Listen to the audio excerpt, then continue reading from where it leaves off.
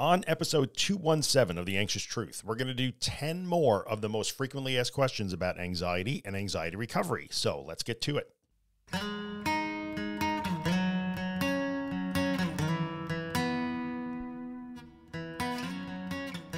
Hello, everybody. Welcome back to The Anxious Truth. This is podcast episode number 217, 217. We're recording at the end of July 2022. Uh, welcome. I am Drew Linsalata, creator and host of The Anxious Truth. This is the podcast that focuses on all things anxiety, anxiety disorders, and recovery. So, welcome. If you're new here, welcome aboard. If you're a returning listener, welcome back. Um, today, we're going to do part two of our frequently asked questions. Uh, these are 20 of the most frequently asked questions about anxiety and anxiety recovery that I encounter in my many years in this community and doing this work that I do. Last week in episode 216, we did the first 10. So go back and listen to that if you have not. And today in 217, we're going to do the second 10. Uh, the show notes for these two episodes are quite detailed. So you can find the show notes for this episode at theanxioustruth.com slash 217. And I have included in there all the links to all the other resources and podcast episodes that I'll talk about here. So go to theanxioustruth.com slash 217 and check that out. And while you're on my website, I would like to remind you that the Anxious Truth is more than just this podcast episode. There's 200 and somewhat other podcast episodes. There's a ton of free social media content. Uh, there's my free morning newsletter called The Anxious Morning. Uh, and there are three really excellent books on anxiety and anxiety recovery that I have written that are helping tens of thousands of people around the world. So while you're on theanxioustruth.com, check out all of those resources. They're good. Most of them are free. Go ahead and avail yourself of them. And if you are enjoying my work and it's helping you in some way, and you would like to help me keep it free of sponsorships and advertising, all the ways to do that can be found at theanxioustruth.com slash support. So check that out. Never required, always appreciated. So let's get into part two of our frequently asked questions. And we'll get right into it. We're going to do 10 today. So question one this week is, is recovery possible, even if you've suffered for many years? And the answer to that is it sure is. This is a short answer. Many, many members of our community can turn things around even after years of dealing with disordered anxiety. For me, it was over 20, 25 years of my life on and off in three or four major episodes. Uh, so, yeah, the amount of time that you have suffered with this, I'm not going to say it, it doesn't matter completely, but it is certainly not a reason why you could not get better. You can do that um, yes, you may build some habits, but at some point the hole can only get so deep. And I think that's what people worry about. Like, oh, I keep digging a deeper and deeper hole. I've been digging for 20 years. So how am I ever going to crawl out of this hole? That's not the right way to, to um, visualize it. I like to say the hole can only get so deep once you are to the point where you're avoiding everything. You're housebound or stuck in one room, or you, you've got yourself down to eating only three foods because you're afraid, or you know, you're super restricted. There's, o- there's only so much restriction you can impose on yourself. So assume that the hole has gotten as deep as it has, is it's ever going to get. You just start decorating and get comfortable in that hole. You personalize it. You hang artwork, like you put in a stereo system and listen to your favorite music while you're there. So it, the hole doesn't get deeper. You just get more comfortable in it. That doesn't matter. You can turn this around. It doesn't matter how long you have suffered. I promise you can get better. I was 20 plus years, 25 plus years. I know people even longer than that that have dealt with this. I know one woman over 40 years, uh, and she has turned things around. She's well on the way to recovery. So, yes, uh, in terms of resources, episode 124 of The Anxious Truth talks about that. So, you can go check that out. So, question number two today What if I don't have panic attacks and I just feel anxious all day? So, there's, there's two things that I really want to address in this question. First of all, there's a misconception that people that have panic attacks are somehow calm or not anxious between attacks. And that is 100% not true. Like people with panic disorder, I had panic disorder. I was anxious all day long too. So if you're in that boat and you don't have panic attacks, the first thing I want you to be aware of is that that's not necessarily a special condition. And it's not like people that do have panic attacks have attacks and then are calm the rest of the day. It doesn't work that way. So don't don't feel bad about that. Now, being anxious all day can be the result of the, the same mechanism that drives things like panic disorder. You can start to learn to be anxious just because you're anxious. And the longer this goes on, that becomes part of the puzzle for a lot of people. Like I'm anxious all day long. I can't figure out why. So now I start to become anxious about being anxious. That's one of those things. Or another reason why you might be anxious all day long And this starts to get into the realm of generalized anxiety or generalized anxiety disorder. A lot of people that have GAD are anxious all day long, but not everybody that's continually anxious has GAD. So, really, GAD is defined by excessive worry and focus on external things the health of your family, your own health, doing good at work, not letting people down, taking care of everything, being perfect, being a people pleaser. Like, those are things where we are trying to control the world uh, to an excessive degree. And that's sort of the hallmark of generalized anxiety disorder. It's based on that sort of stuff. And then it gets off the rails and gets carried away. So, people with GAD can have a general background anxiety that lasts all day long, too. So there could be that. And then you could also begin to just be anxious about being anxious because you can't solve the anxiety problem. So it's not that this is a special thing or it can't be fixed. Uh, sometimes if you're in the in that GAD camp, you got to look at some of the underlying things that go with that.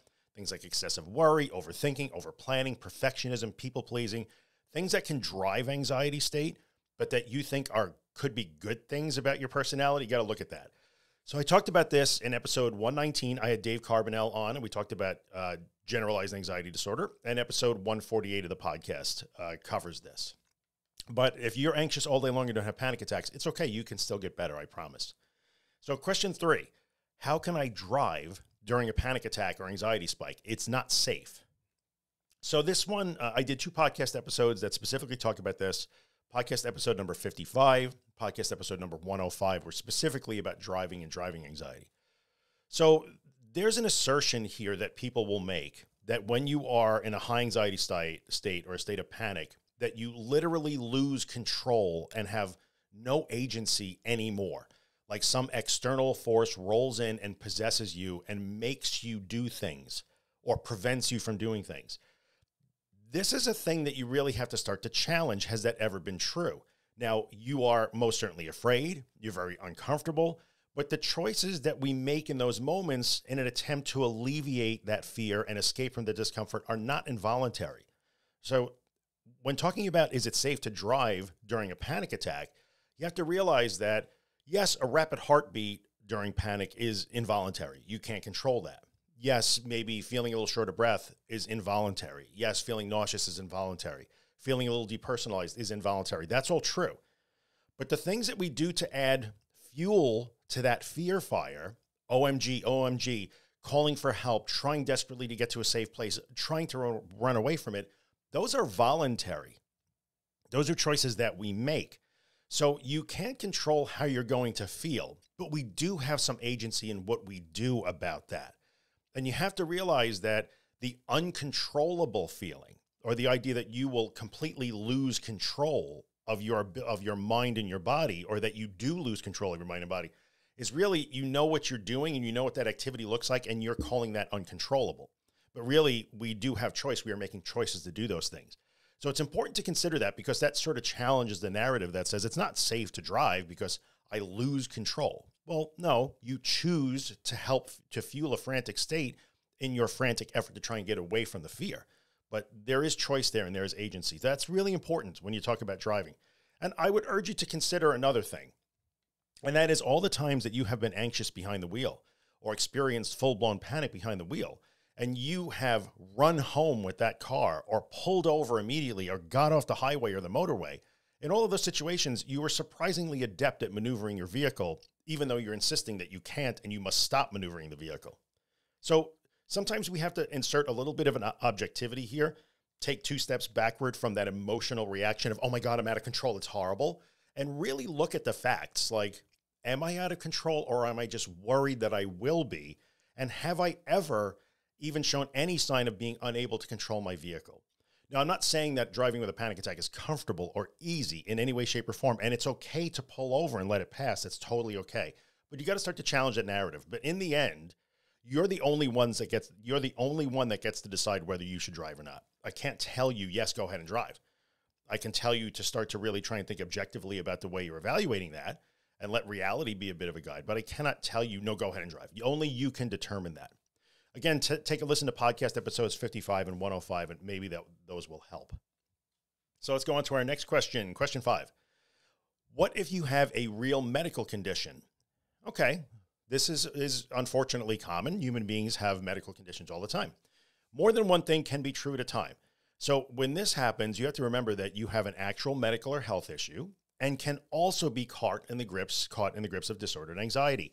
Those two things will get glued together and you you will stick them together and think that they are one big giant ball of fear, but really they are not. So there's two things. In the face of a health challenge or a medical condition, that medical condition can cause actual restrictions, lifestyle restrictions, but it can also cause fear, uncertainty, vulnerability, um, anxiety, worry, normal things like human beings that are having health problems will normally experience those states. But then there's the extra state on top of that. So that's the medical condition itself and the normal human reaction to that. And then there's the disordered part that comes on top of that, which is now I am going to excessively worry beyond what is actually helpful about my health condition. I'm going to try to make predictions. I'm going to write giant horror story screenplays in my head about what might happen, even though it's not happening now. I'm going to ruminate and worry and ruminate and worry and research and Google. And I'm going to try to solve this problem in my head, but you can't. That's the part that you don't have to do. That part is not required. That part is actually not helping you in any way. It's actually kind of hurting you in terms of mental health, right? So you have to recognize those two things. Oh, I'm, I'm worried right now. I'm concerned. I'm afraid. I feel uncertain and vulnerable because of this medical condition. Okay, that's okay. And that sucks. And my heart goes out to you, but that's part of being human. But the part where you latch onto it and spend 24 hours a day, every waking moment, trying to solve this problem and writing stories about it in your head, that's not needed. And then in many cases, your anxiety level goes up because you're doing that. And then you're anxious because you're anxious. So it's important to step back again, try to insert a little objectivity and say, oh, I see what's going on here. I don't have to say, well, I have a health condition and it sends my anxiety through the roof. No, I have a health condition and that makes me feel certain things. And then I am adding on top of that with some of my habits that I think are safety or protection for me. And I can recognize that and begin to tease that apart and start to work on those other habits. So that's my answer to what if I have a real medical condition. People will often say like, well, uh, I have a real medical condition, so all bets are off. Too bad. Like I'm going to have to be an anxious mess. No, that's not true. Now, I did an episode of the podcast with my friend Jessica Seidner. Uh, Jessica doesn't have uh, anxiety disorders like like we are aware. But we did a great episode together where she talked about having to deal with the increased anxiety of breast cancer diagnosis, which came right on the heels of losing her husband. So she had a lot going on, medical condition and a huge life loss. Uh, and her anxiety went up because it normally did. And we talked about how she had to work through that. That might be helpful. I also did an Instagram live on this topic, oh, probably a year and a half or two years ago. So again, if you go to the show notes for this episode, theanxioustruth.com slash 217, under this uh, question, you'll see that link to Instagram. So next question, we are on to question number six, seven, eight, nine, 10. Okay, so we're on to question, I think five or six. How do you accept anxiety or surrender to it? So this is a question I get every day. And this question is really like other, other statements in code. This question is really, it's super scary to surrender. So please tell me how to do it without being afraid or uncomfortable. Right. So th there is no way to do this without being afraid or uncomfortable. And I know that's a, a glib answer, a brutal answer. It's, it sounds like a cold answer, but we need to confront these things. It doesn't help us to try desperately to, to, make it easier or fluffier. It doesn't work that way. So you also have to recognize that when you ask the question, but how am I supposed to accept this or surrender to it? What you're really doing is insisting that you must continue to resist it. But why? Why do you think you have to continue to resist it? So if you are in this camp right now where you want to keep asking, but I don't understand how I'm supposed to surrender or how I'm supposed to accept it, what you're really telling me is number one, I don't want to be afraid, which I, I understand. I'm not picking on you for that. Nobody wants to be afraid. And number two, no, no, no. I, I how am I supposed to, I can't, if I drop all this resistance, then it's going to come and get me. And my answer is Yes, correct. So how can I accept or surrender really is an insistence that you're not supposed to accept or surrender because you have to continue to fight it and resist it because if you don't, you won't be safe. And if you want one big step that you can take toward acceptance and surrender is to face the harsh, brutal, cold reality that all of the things that you are doing to resist it, stop it, make it go away. All your rituals and safety behaviors and escape behaviors are literally doing nothing. I'll leave a big pregnant pause there. Literally doing nothing. No amount of tapping your cheeks, sniffing oils, drinking cold water, popping mints, calling for help, snapping rubber bands, chanting, counting backwards from 100. None of those things is actually doing anything because that danger has never actually existed. So, in terms of how can I accept and surrender, I will say if I walked up to you and said, I am so tired from having to hold up the moon all the time, but, but I can't stop holding up the moon or it will fall to the ground. You would look at me and say, No, no, you can stop holding up the moon because you've never actually been holding up the moon. It, it doesn't fall to the ground. It's okay. You can let go. Same thing applies here. So there, the, the thought that you can't possibly accept anxiety or surrender it. And by the way, acceptance doesn't mean liking it. Do not get confused. You can still hate it. You can still want it to not happen. That's all normal and you can't control. That's human. You're allowed to be human. Accepting doesn't mean liking it, but accepting and surrendering means you will drop all of those safety behaviors, all of those resisting behaviors, because you must face the realization that they are literally doing nothing. They have no impact on your safety at all. They're just designed to make you feel different. But feeling different isn't safer at all because you were never in actually danger from feeling anxious. Right? So you're going to have to confront the reality behind that question, but how am I supposed to surrender or accept? Well, look what those questions really mean. So, next question is what exposures can I do to get ready for dot dot dot? pick an event, a wedding, a concert, a family vacation, something. And so in the end, this is a simpler answer.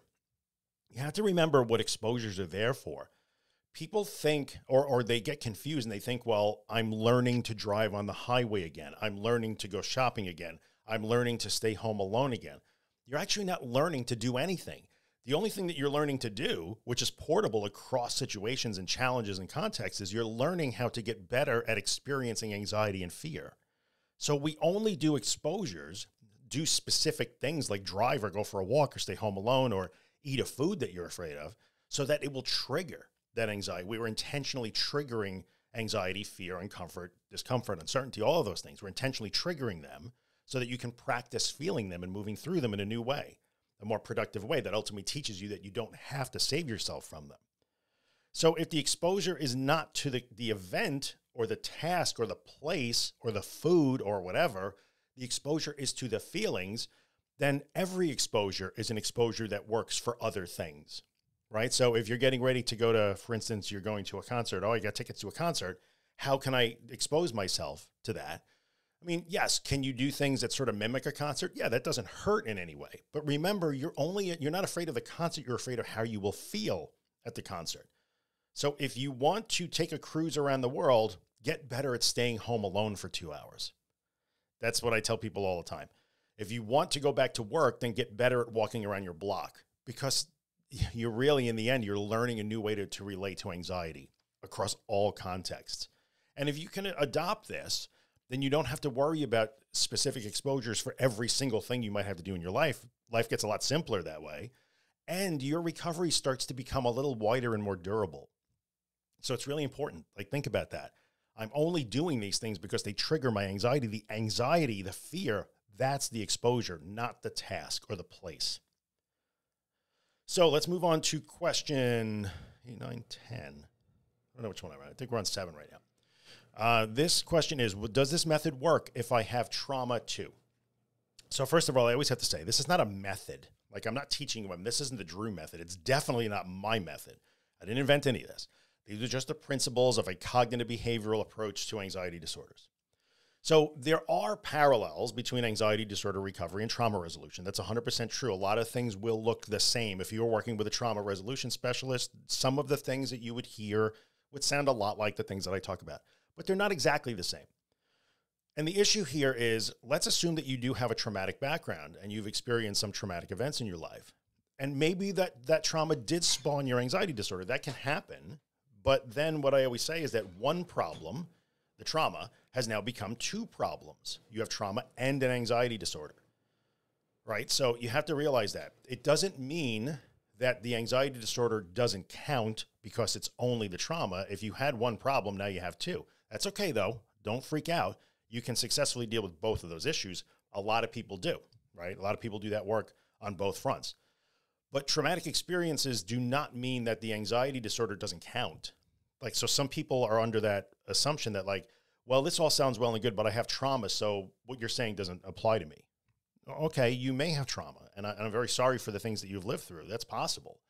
But in the end, if you have learned to be afraid of your own heartbeat or your own breath, or you have learned to be afraid of, you know, depersonalization or jelly legs, and you refuse to go out of the house, or you are convinced that you have some sort of health problem and you will only eat four foods as a result, maybe there was some trauma that that spawned that.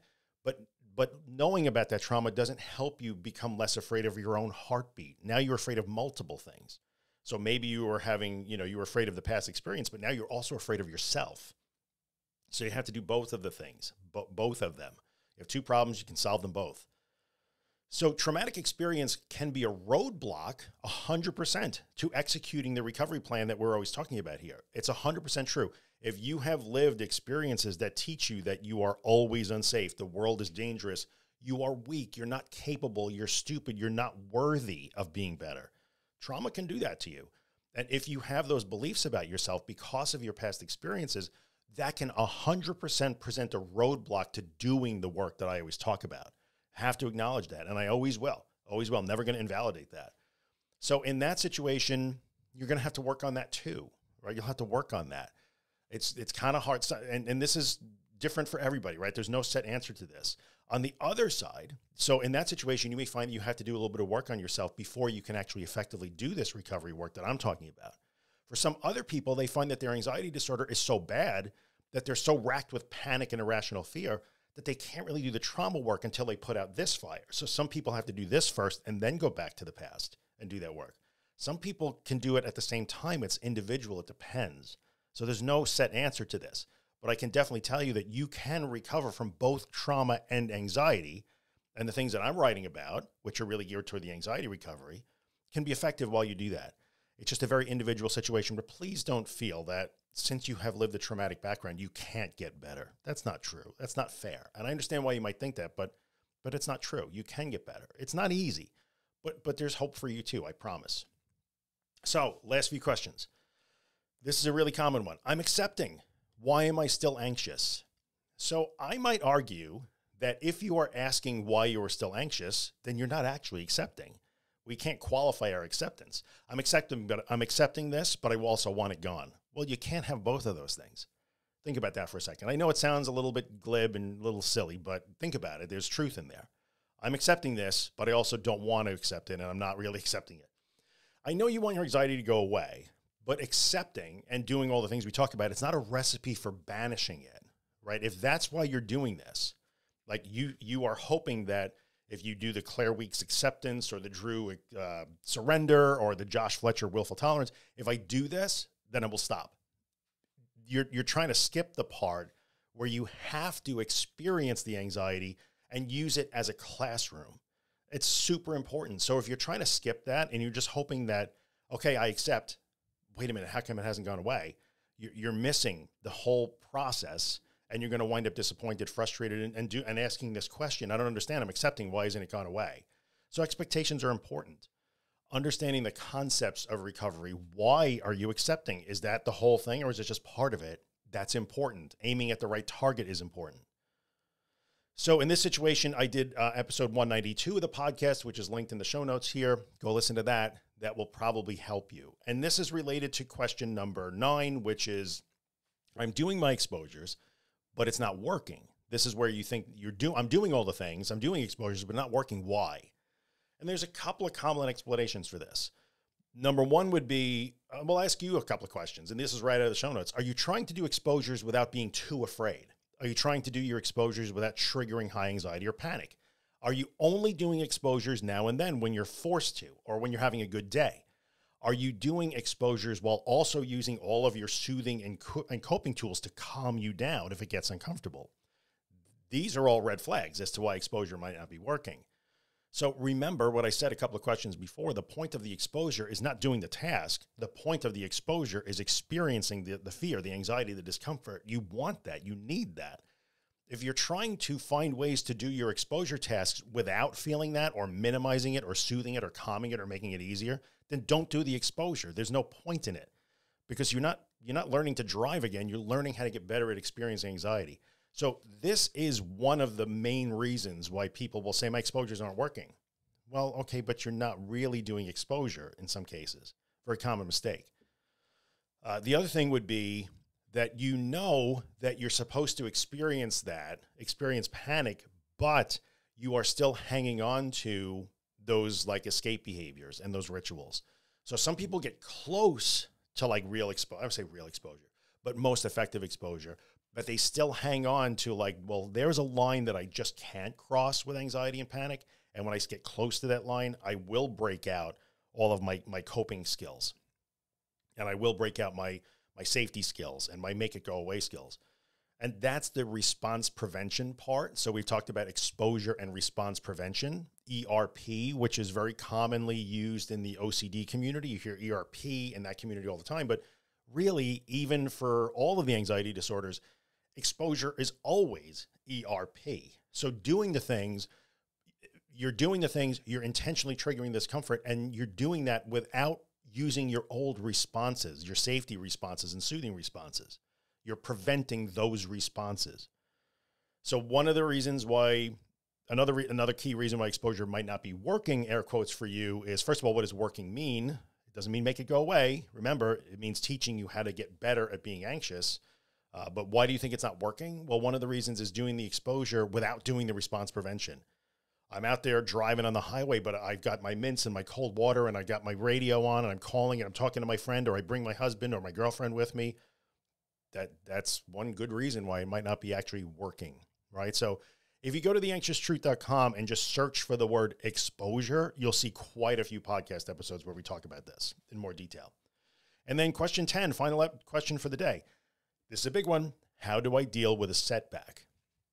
So this is such a, this question I hear every single day. And the word setback, I almost want stricken from the vocabulary many times when people are in the recovery process and they feel like they're doing great because they're not experiencing anxiety or panic, like they're feeling good. That's, that's awesome. We want everybody to feel good. I want you to feel good too, right? I want you to have good days. We all want to have good days. Everybody deserves a good day. So when you start to string good days together and you're feeling pretty good, and it's been a while since you had a panic attack, or it's been a while since you had those scary thoughts, or it's been a while since you've had a really anxious day, and then you have an anxious day, or the thoughts come back, or you have a big panic attack one night, a lot of people will say, oh, it's a setback. That's not a setback. That's literally not a setback, right? If the core principle of recovery is to learn that anxiety and panic are not emergencies, then how is feeling that a setback? It's no longer an emergency. You are trying to learn that it's not an emergency. We do not declare it a special event. We don't retreat from it. So setback is usually a red flag word and it indicates that you are still insisting that the only successful recovery is one you where you will never ever feel anxious or panicky ever again. And if you are trying to recover to that degree where you never you can guarantee that you never panic or never have another scary thought in your life, you're going to be really disappointed and frustrated. So setback is not feeling things. If you haven't felt anxious for 2 weeks and then today you feel anxious, well, your job today is to move through those feelings and practice being better at being anxious. That's not a setback. That's just life happening. And that's an opportunity to get even better. Like we really want to, we get to the end of the road of recovery when we don't care if we're anxious or not. And I know that if you're in the thick of it right now, you are thinking that is an insane statement, but that is truly where you are headed with this. That is when the war is over. So if every time you experience anxiety, you yell setback and want to know what do I do with the setback, you're kind of missing the point and you're not being fair to yourself. Okay. So the only true thing that I might call setback is set, setback is also is really what happens when we say up all bets are off and I'm going to return to my old rituals. I'm going to go back to my figuring it out, trying to fight it, trying to resist it, hiding from it, going back to my compulses, my, my compulsions, like that might be setback. Yes, if you start to revert to those old habits, I'll call that a setback with you. but how you feel and what you think is not the setback.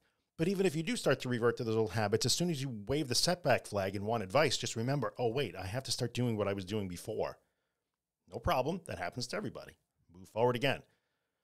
So if anxiety returns after some time, right at the show notes here, your job is not to wring your hands and try to figure out why and how to stop it and, and declare disaster. Your job is to surf through it, move through it, like you presumably did as part of the progress that you said you had made.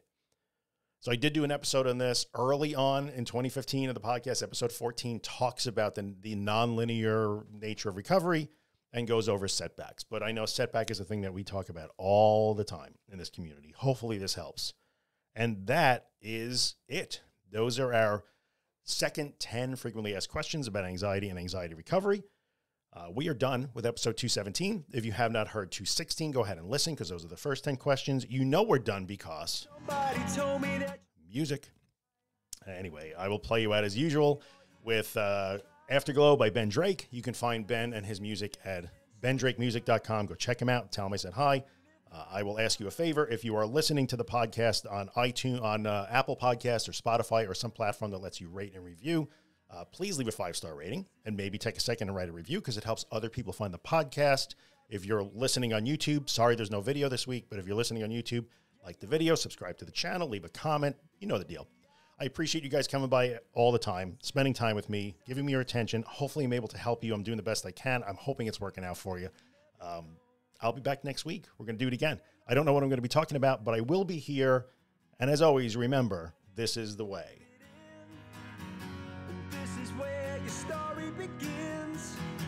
You got the feeling that you're gonna win.